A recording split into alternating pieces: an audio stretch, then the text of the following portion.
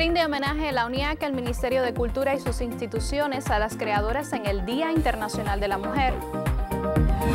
Inicia este miércoles taller y concurso Rubén Martínez Villena que organiza la Asociación Hermanos Aís. Y Cuba recuerda una de las cuatro joyas de nuestro ballet, Josefina Méndez, justo en el aniversario 80 de su natalicio.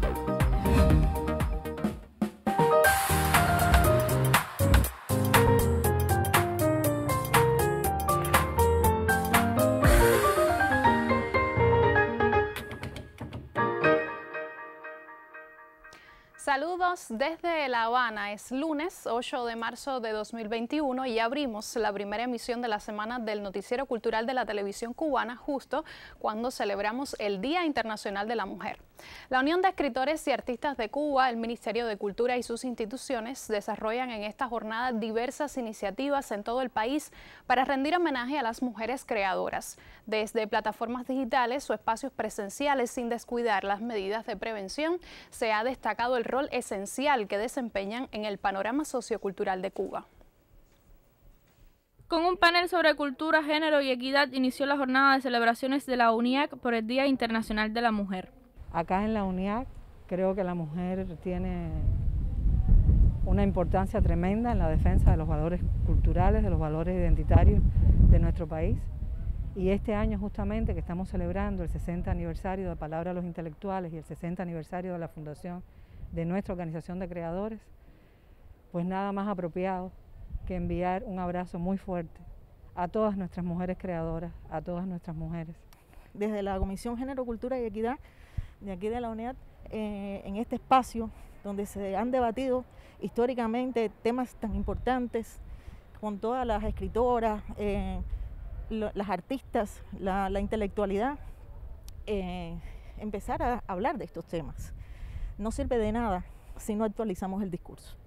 La mujer es hoy puntal en la consolidación de la identidad cultural cubana. Ha sido a lo largo de los años protagonista en la formación de una idiosincrasia nacional tenemos que defender lo que ha logrado la mujer cubana, que en todos los países y antes del, 59 la mujer no tenía derecho, la mujer no era nada. Y sin embargo, gracias a, esta revolución y también recordar a Vilma Espín, tenemos logros que no, que, no, que no existen en ningún país. Para la mujer creadora en este país, ya yo te decía, tiene todas las posibilidades. Esa palabra a mí me parece eh, fundamental en el proceso revolucionario, de que tú puedas optar por cualquier cosa. ¿no? Las mujeres, hay geniales escritoras, teatristas, directoras de escena, pintoras, grabadoras, dibujantes, o sea, no hay manifestación que esté ausente de ese género femenino y amoroso que es la mujer. El Ministerio de Cultura también se sumó a las festividades con el lanzamiento de un fonograma de Janet Valdés que incluye canciones que han sido interpretadas por grandes mujeres de la música cubana. Es un disco que eh, aúna muchas de las canciones eh, más emblemáticas cubanas eh, de los años 40, 50. es un disco que rinde homenajes a mujeres fuertísimas como Celeste Mendoza, Rita Montaner, Margarita Lecuona, o sea, no solo los intérpretes, sino también a compositores, a Benny Moré y a Bola de Nieve entre otros. Muchos son los nombres de mujeres que han dejado una huella mediante las diversas manifestaciones del arte y la literatura. Mujeres que desde su posición promueven la premisa de que el campo de la cultura es vital para mantener nuestras conquistas. Nuestro homenaje a ellas. Elin Drix, Noticiero Cultural. El Centro Provincial del Libro y la Literatura en Camagüey también ha rendido homenaje a la mujer con la celebración de la jornada Mujeres Cubanas ayer, hoy y siempre, una iniciativa que se celebra desde las plataformas digitales. Nuestra corresponsal en ese territorio ofrece los pormenores. En el recuento de la historia y el presente, la mujer está en el listado de las imprescindibles. Su protagonismo desde la época mambisa hasta la revolución es la esencia de la jornada Mujeres Cubanas Ayer, Hoy y Siempre, una iniciativa del Centro Provincial del Libro y la Literatura en Camagüey, esta vez desde la plataforma digital. Ver diferentes eh, conferencias, talleres sobre mujeres bambisas, sobre Celia Sánchez Manduley, sobre Navetancourt de Mora, eh, Aurelia Castillo, en voces de nuestras escritoras y el Premio Nacional de Literatura, Luis Álvarez Álvarez, eh, Premio Nacional 2017 y Maestro de Juventudes. También se han realizado diferentes cápsulas de nuestras escritoras y poetisas, como Mariela Pérez Castro, Giovanna la Santana, entre otras que tenemos bien representadas en los diferentes espacios y escenarios que han sido nuestras librerías convertidas en centros culturales. El programa del 3 al 8 de marzo incluye temas como Ana Betancourt, destacada patriota camagüeyana, Aurelia Castillo, una mujer insustituible, Celia Sánchez, flora autóctona, el papel de las mujeres en la sociedad, en las obras sociales y constructivas, entre otros, así como la exhibición de cápsulas audiovisuales. Propuesta desde las redes sociales en colaboración con la Federación de Mujeres Cubanas en la provincia. Un placer poder tener esta jornada que el Centro Provincial del Libro ha dedicado al Día Internacional de la Mujer. No podía ser de una manera diferente en Camagüey, cuna de la literatura cubana, donde tantas escritoras, poetisas, mujeres han dedicado también a nuestras causas a nuestras luchas su quehacer cotidiano. La jornada literaria virtual pretende exaltar la imagen de quienes ponen su empeño cotidiano en cada obra una mirada a esa fascinante poesía llamada Mujer. En Camagüey, Aime Amargos, Noticiero Cultural.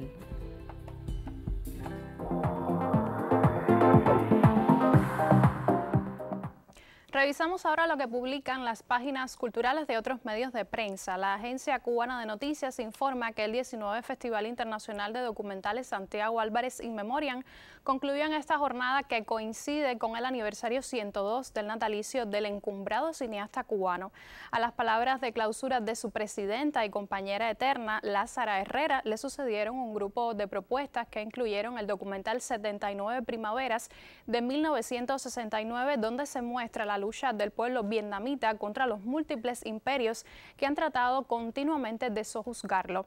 Este, uno de los grandes clásicos de la cinematografía de Santiago Álvarez, transita a través de la vida de Ho Chi Minh como poeta, guerrillero y estadista, a la vez que constituye una denuncia contra el genocidio yanqui. Por su parte, Prensa Latina informa que la artista cubana Flora Font crea, hoy una nueva serie pictórica denominada Nasobuqueñas, tributo de colores y abanicos a la mujer cotidiana y reflejo del dramatismo de los momentos actuales. Esta obra reciente evoca también los rostros de féminas dentro de la plástica, especialmente la gitana tropical de Víctor Manuel, y muestra la preocupación en las miradas de sus protagonistas, casi lo único visible que deja la mascarilla.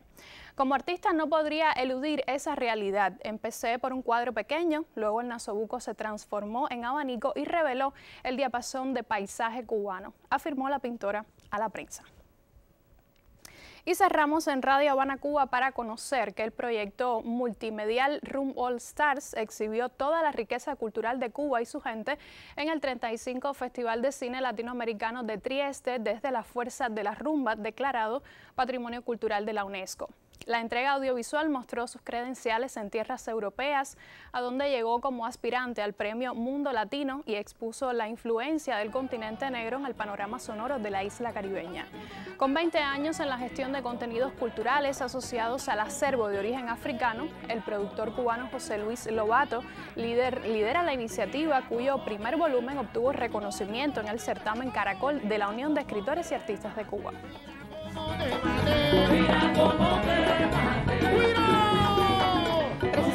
Con un fragmento de las interpretaciones del proyecto multimedial Rumbo Star cerramos nuestra revista de prensa por hoy. Ahora vamos a hacer una pausa en nuestro recorrido informativo y en el próximo segmento le hablaremos de periodismo cultural en Cuba. Será en instantes, no abandone la sintonía.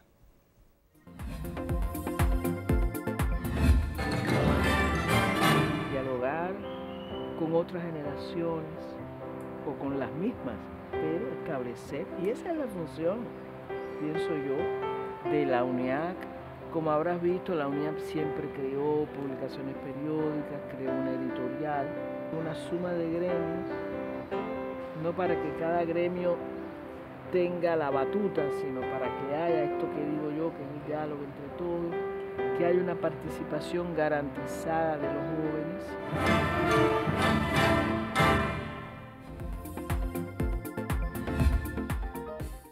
El taller y concurso de periodismo cultural Rubén Martínez Villena, que auspicia la Asociación Hermanos Saiz, tendrá lugar del 10 al 14 de marzo y por primera vez, debido a las condiciones epidemiológicas que vive el país, se realizará de manera online. La cita estimula el encuentro y el trabajo de los profesionales menores de 35 años.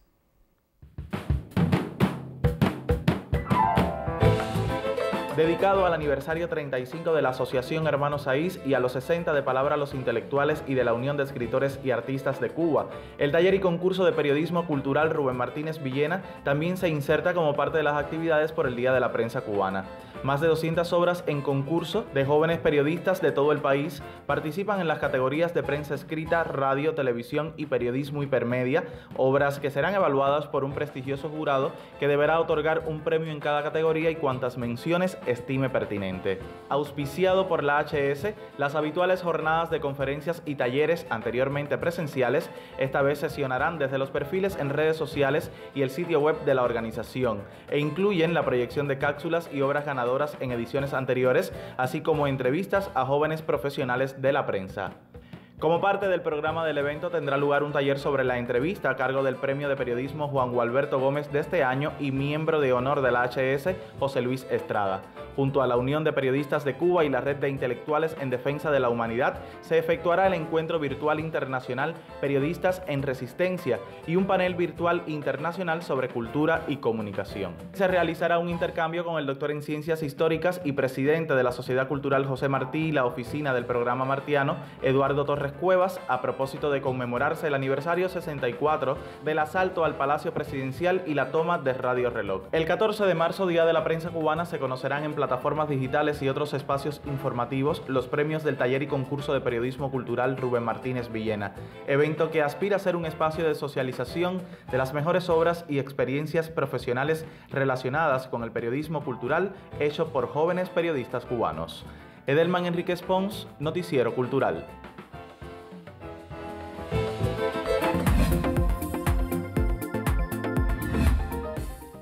Precisamente esta semana nuestra sección Contrapunteo propone un debate en torno a los retos del periodismo cultural en Cuba justo cuando el próximo 14 de marzo conmemoraremos el Día de la Prensa Cubana.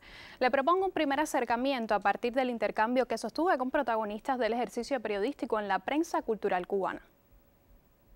Dialogar con periodistas especializados en temas culturales es enriquecedor. Son colegas y a la vez maestros, cuya experiencia los hace ver con mayor claridad el rol que nos corresponde y las carencias que enfrentamos. Todo periodista es un hacedor de cultura y específicamente el periodismo cultural, eh, ese es su objetivo, no, solamente eh, la cultura desde las manifestaciones artísticas, de la literatura, la música, sino para compartir con las personas, con los públicos, con los receptores, esas esencias de cultivo, que es, la misma raíz de, la cultura. Trabajar con las ideas, con las personas, eh, transmitir conceptos, eh, defender eh, ideas o, argumentos, y eso solamente lo puedes hacer si estás bien preparado, si tienes una base cultural sólida, si tienes un pensamiento lógico. El periodismo cultural no es solamente sentarse con muchos libros y estudiar porque el arte está vivo, el arte evoluciona, el arte se manifiesta y en esa manifestación hay una expresión diferente, nueva, que te diabla, que dialoga, con la cual el periodista o el crítico debe dialogar. Pero el periodismo cubano en el campo de la cultura le faltan, o ganaría mucho, para decirlo mejor, si orientara más, si diera a conocer valores, si contrapesara valores, si orientara estéticamente a los públicos. Y una cosa muy importante, creo que le falta sobre todo dirigirse, tener en cuenta a los públicos a los cuales se dirige. Es decir, el diálogo fundamental es con las audiencias y tenemos que conocer mucho más las audiencias a las que nos dirigimos para que el periodismo cultural, y no solo cultural, sino para que todos los periodismos sean mucho más efectivos. Cuestiones que tienen causas diversas y que están matizadas por muchos factores, pero algo está claro, la cultura nos salva. Ocurre un huracán y se cae una casa, ¿sabes? Y lo primero que hacen es mandar artista para allá. El saco de cemento se demora más. El artista da un poco de fuerza, ¿sabes? y por lo menos te, da esperanza. Entonces fíjate si es importante, y estamos hablando de algo tan esencial como un lugar donde dormir, eh, pero eso a veces se pierde de vista. A veces en los órganos de prensa y en otras especialidades no se valora justamente eh, el dominio que hay que tener de la cientificidad para abordar determinadas esferas, determinadas aristas del periodismo cultural. Y lo estamos viendo ahora porque estamos enfrentando una guerra cultural. ¿Y de qué estamos hablando? Sino de esencias que tienen que ver con ideología. Así es, trabajamos con ideologías, con las esencias de una nación, y hacerlo requiere conocimiento y entrega. El periodismo cultural eh, puede ser, eh, parecer grato, puede ser fácil, pero no es nada de eso. Exige un estudio sistemático de especialidades, porque tú cuando vas a dialogar o vas a enjuiciar, argumentar, hacer un, periodismo interpretativo de una obra, no le preguntas solamente al creador, sino le preguntas a, la misma obra. ¿Y cómo lo vas a hacer si no dominas determinadas disciplinas? Estamos hablando de la dramaturgia, de la semiótica, de la antropología. Fíjate cuántos campos, y estos son solo algunos, hay que dominar para realmente adentrarse en las especificidades del periodismo cultural. No se puede ser, por ejemplo, periodista cultural y ser ajeno a la política. Eso, eso no existe. Eso no existe. El periodista cultural tiene que estar informado de todo. Se hacen talleres, se hacen cursos alternativos, pero ese no resuelve el problema. Yo creo, y hace mucho tiempo es una demanda de, no solamente de, de los que tienen un poquito más de experiencia, sino sobre todo los jóvenes, de que se organicen diplomados. Estudiar es la clave, aseguran mis colegas y maestros. Asistir a los espacios culturales y aprender las herramientas necesarias para poder también incursionar en la crítica. Una arista del tema que trataremos mañana en la segunda parte de este reportaje.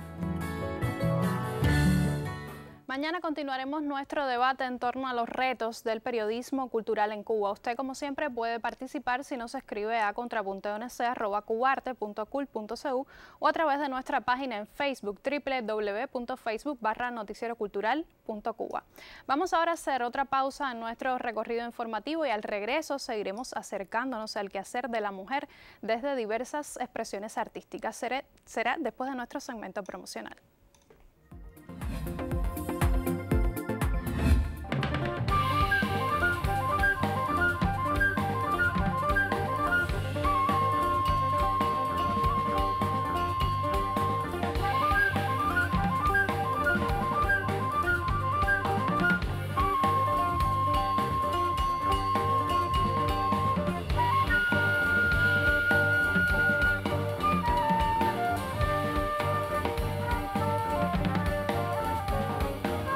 Las generaciones futuras, que serán, al fin y al cabo, los encargados de decir la última palabra.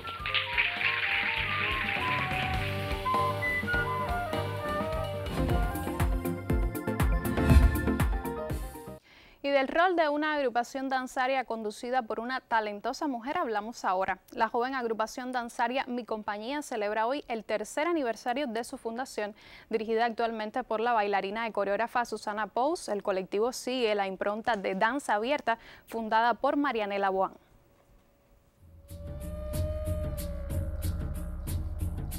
Desde España llegó y en este país encontró un lugar ideal para la creación danzaria, un motivo de inspiración para la interpretación, la coreografía, para crear y hacer arte.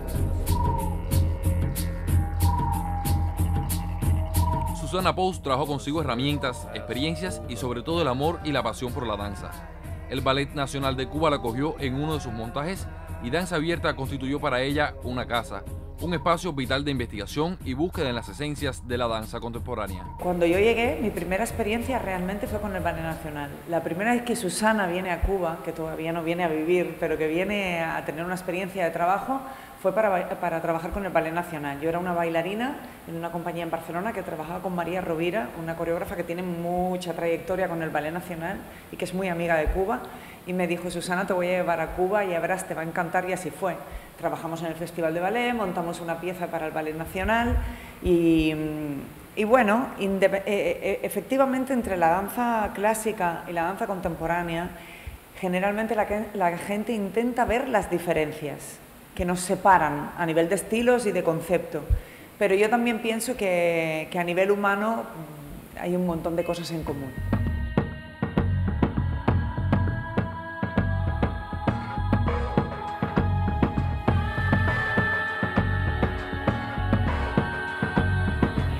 Conozco a Marianela, colaboro con Marianela y me doy cuenta que hay más puntos de contacto que diferencias. Es decir, lo mismo que te decía, cuando la gente me dice, ¿qué es lo que qué sucedió? Sucedió que todo fue muy fácil, que nos entendíamos, que el punto de vista de, la danza que tenía Marianela y danza abierta en ese momento, lo que, lo que se buscaba y lo que eh, se experimentaba era muy parecido al background que yo tenía como bailarina y fue muy fácil.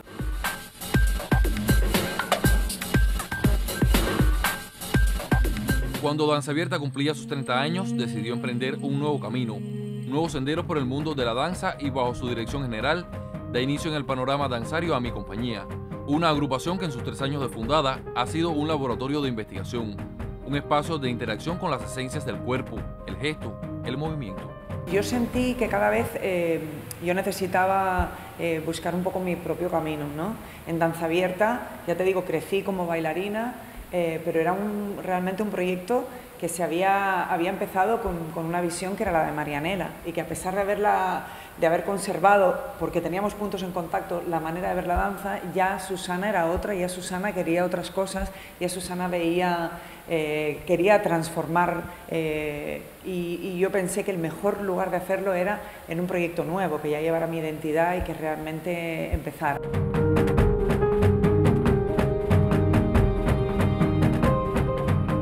Mi lenguaje o lo que siempre me ha interesado a mí eh, ha sido contar historias, ha sido hablar de lo que siento, eh, de lo que me emociona, de lo que me conmueve y conectarme con el público. Yo creo que se puede hacer desde cualquier eh, tipo de, danza.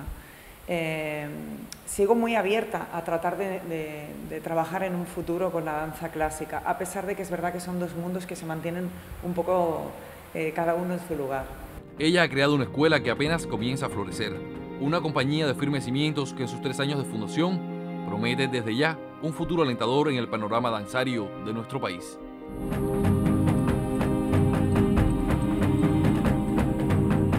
Daniel González Cabello, Noticiero Cultural. Y ya lo decíamos en titulares, Cuba recuerda hoy a la gran bailarina Josefina Méndez en el aniversario 80 de su nacimiento. El Ministerio de Cultura ha dedicado el Día Internacional de la Mujer a esta gran artista referente indiscutible de la Escuela Cubana de Ballet. Al cierre de esta misión nos acercamos a su obra y legado.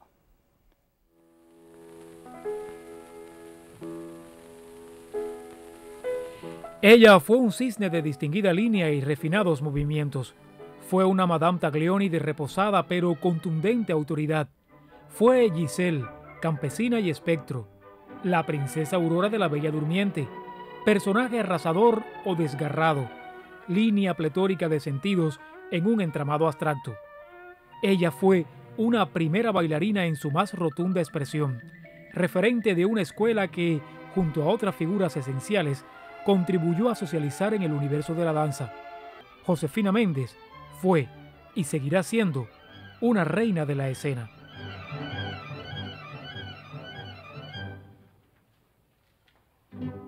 Tomó sus primeras clases de ballet en la Escuela de la Sociedad Pro Arte Musical y después continuó su formación en la Academia de Ballet Alicia Alonso. Pronto llamó la atención de sus maestros por su singular proyección escénica y su marcado temperamento dramático. El suyo fue siempre de diapasón amplísimo, pero desde el principio fue reconocida su inclinación hacia la era romántica del ballet.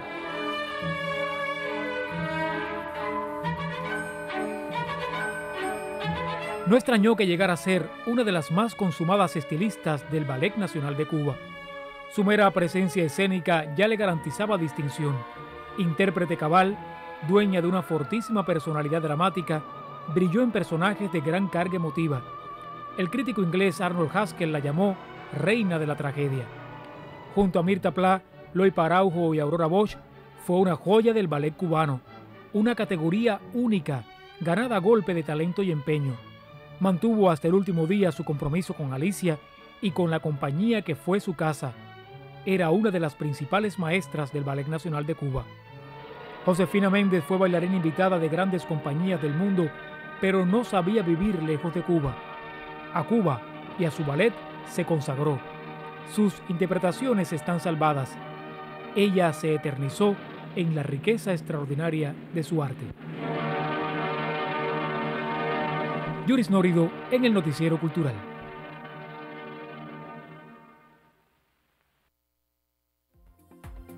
En esta emisión del Noticiero Cultural conoció del homenaje de la UNIAC y del Ministerio de Cultura y sus instituciones a las creadoras cubanas en el Día Internacional de la Mujer. Le pusimos al tanto del programa del taller y concurso Rubén Martínez Villena que organiza la Asociación Hermanos Saiz y recordamos a la gran Josefina Méndez en el aniversario 80 de su natalicio. Gracias por acompañarnos en esta entrega informativa. Nosotros regresaremos mañana para compartir más informaciones del acontecer del arte y la literatura en Cuba y el mundo. Hasta entonces me despido con un saludo desde La Habana.